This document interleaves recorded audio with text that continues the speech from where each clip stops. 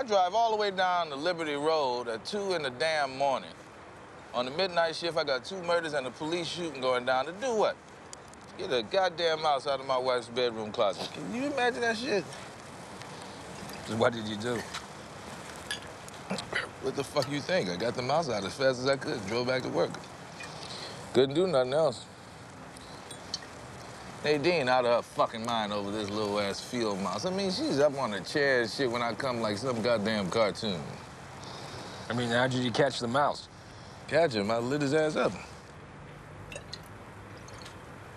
You shot the mouse? Mm-hmm. Your nine? First shot killed my wife's dress shoe. Got him with the second.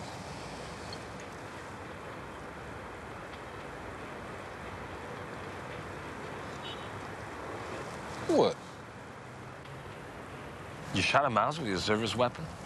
Yeah. What did you do with the carcass? I cleaned it up, you know. Thought about leaving that little motherfucker there as a warning to the others, you know.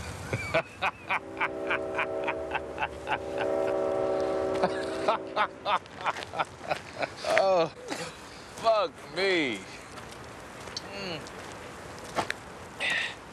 3.30 in the morning. I- I'm supposed to be uh, early relief.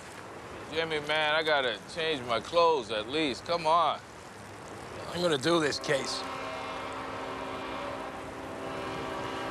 What? I'm gonna do this case. Way it should be done. So buy a bus, Jimmy. Get in and get out. Now, fuck that. Jimmy.